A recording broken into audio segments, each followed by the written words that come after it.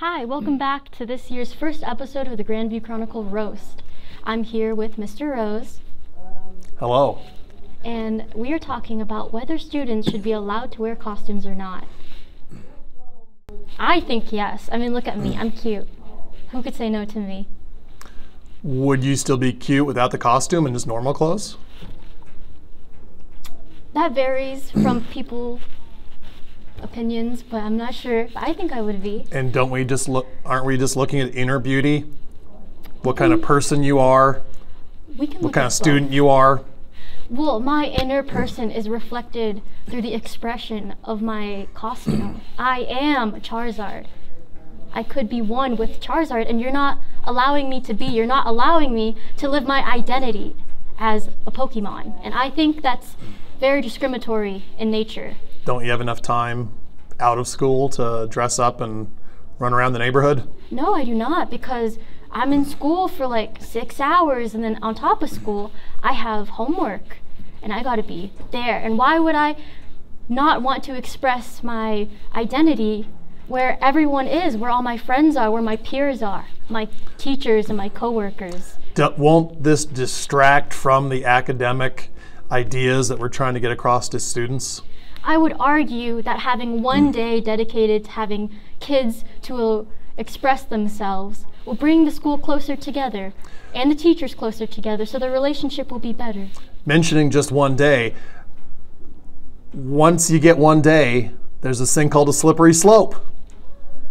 Students get one day to dress up and be funny.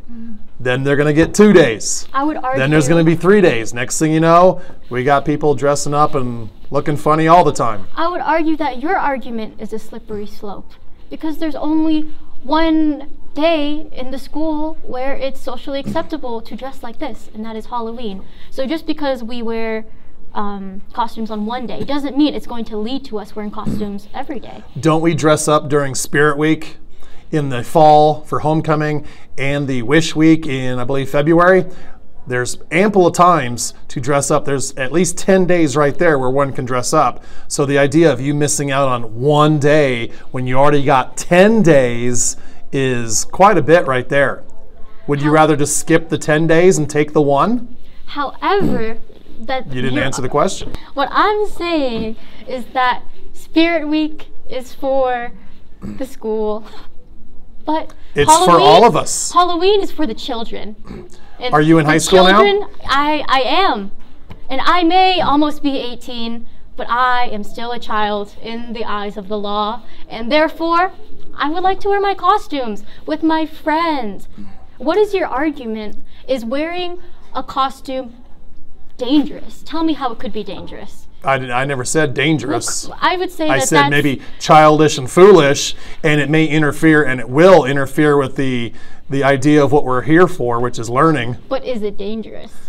No. See, that's how you answer a question.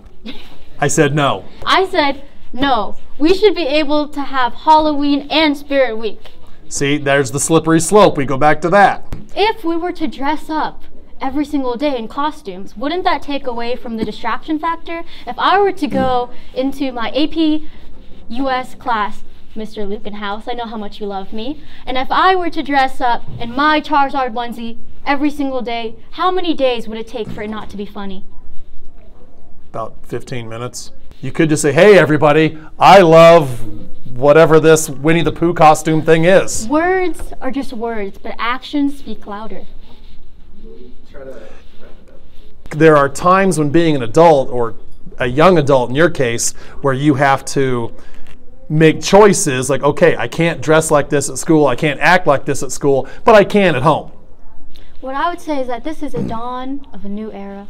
We are the new generation, and we come with new ideas. And if we want to wear our Pokemon outfits, we will wear our Pokemon outfits because it's what the people want, and we will give the people what they want. well what most of the people are thinking what i'm thinking is we got a new era of millennials who are going to do whatever yada yada Incorrect. We're Gen Z. agree to disagree